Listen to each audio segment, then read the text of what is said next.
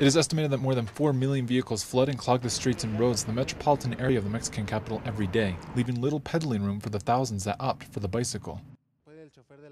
The motorists may not pay attention to us, and we might not see them either, so it is very dangerous. Motorists should know that their vehicles are much stronger than a bike. There's no comparison, and so they need to watch out for the cyclist.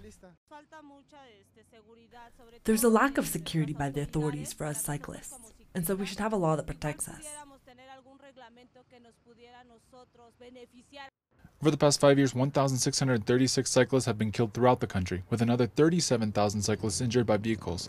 Many cyclists argue that there is a lack of culture and respect for those who choose alternative means of transport.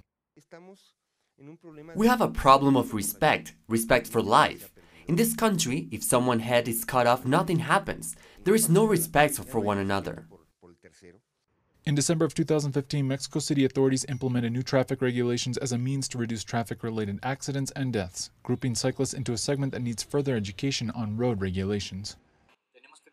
We need to work a lot in giving capacitation towards cyclists. You all know that we also are implementing a workshop for cyclists, and we need to make sure they do not traverse areas that could be dangerous. Yet cycling activists argue that ultimately motor vehicles and their infrastructure receive priority, even though studies show that at least 70% of commuters in the Mexican capital utilize some form of transportation that is not the car. And so the demand of the cycling community is obviously directed towards a culture of protection and respect for motorists and adequate infrastructure throughout the city. A coalition of civil organizations that promote cycling and alternative means of transport are lobbying the Mexico City government to adopt an $11.5 million urbanization plan that prioritizes sustainable mobility and public space for cyclists, motorists, public transport, and pedestrians. Clayton Conn teleSUR, Mexico City.